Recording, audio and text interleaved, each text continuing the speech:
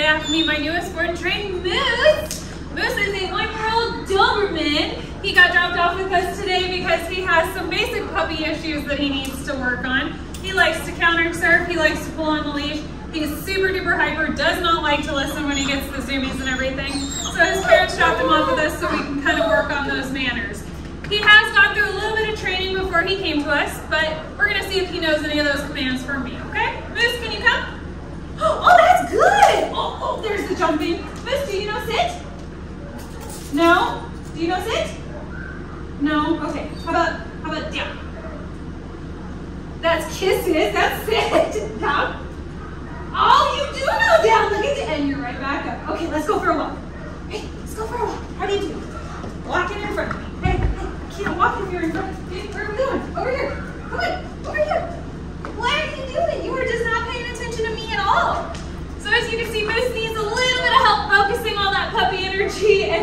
focusing on me and what we're doing over here. If you guys want to keep up with his transformation and all of our other pups transformations, just like and follow us on social media, guys. Thanks again for choosing Bulletproof. Te vamos! Did you look good?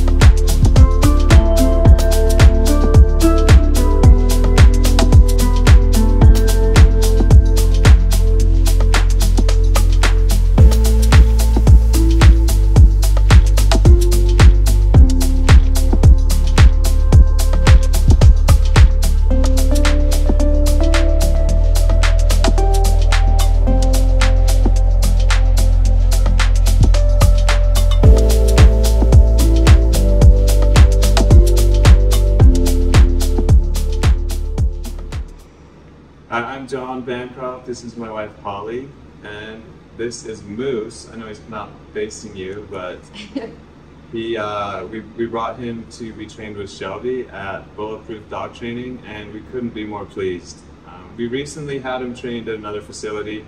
They had him for about eight weeks, and the level of training that we thought he had um, didn't really match the amount of time that was spent there. So Bulletproof is far superior. we, we came here and we couldn't be happier with the results. Shelby worked with him so much and I'm impressed with the level of training that he has in the short amount of time that he was here.